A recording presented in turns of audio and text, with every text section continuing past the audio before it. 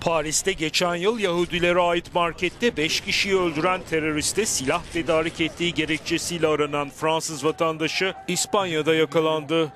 İspanyol polisi Amedi Kolibali adlı teröriste silah tedarik etmek suçundan aranan Antoine Dönevi adlı Fransız vatandaşının Malaga'da yakalandığını duyurdu. Dönevi ile o sırada yanında olan ve silah kaçakçılığı yaptıkları belirtilen iki Sırp'ın gözaltına alındığı açıklandı. Mosevi markete saldırı öncesi bir kadın polisi öldüren Amedi Kolibali, güvenlik güçleriyle girdiği çatışma sonucu ölü ele geçirilmişti.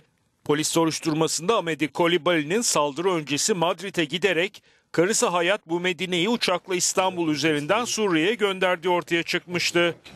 Kolibali, Charlie Hebdo mizah dergisine yapılan terör saldırısını düzenleyen ve daha sonra ölü ele geçirilen iki teröristle birlikte hareket ettiğini söylemişti.